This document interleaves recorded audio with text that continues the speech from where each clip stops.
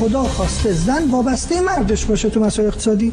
و مرحبا به اون خانمایی که من می‌شناسم های شریعتی دکتر مربی معلم ارزم استاد کارت حقوقیش حتی فیش حقوقیش کارت حقوقیش همه اینا دست همسرشه. بعد میگه آقا هر وقت من پول لازم داشتم لطف بفرمایید شما به من بدید. یعنی ادبیات اسلامی یعنی تربیت اسلامی. کمک شوهرش می‌کنه کار مقتضای جنس و شخصیت رو داره انجام میده ولی دستور دین رو پاروش نمی‌گذاره.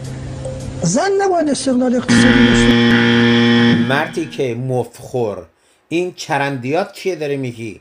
چرا داری اسلام رو بد جلوه میدی؟ چرا داری مردم رو از دین اسلام برمیگردونی؟ این ادبیات اسلامی نیست. این مزخرفات اسلامیه که تازه اگر اسلامی باشه که شما به نفع خودتون دارین اینو به اسلام ربط میدین. این تربیت نه اینا خوزعبلاته. اینا طرز تفکر مغز پوسیده شما اون تعموندش هست. حالا هی زر مف بزن بگو این ادبیات اسلامی است. این تربیت اسلامی است. خاک بر سرت کنن که مردم رو داری از دین برمیگردونی. با این چرندیاتت.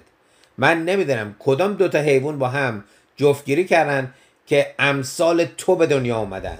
ولی جای تو بین آدمیزادها نیست.